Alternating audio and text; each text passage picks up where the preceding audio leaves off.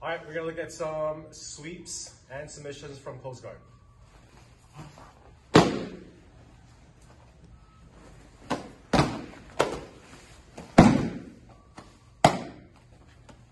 So let's take a look in the close guard. Most of the time, my opponent's hands will be on your chest or on the belt. So instead of you moving and scrambling and looking for a technique, get your hands, fingers underneath this wrist and swim as you pull your wrists and your knees together. Once you feel the hands on the post, on the ground, open your feet and reach up high. Don't come up straight, come in an angle. As you come up, trap his elbow, palm out, and raise and bump with my hips.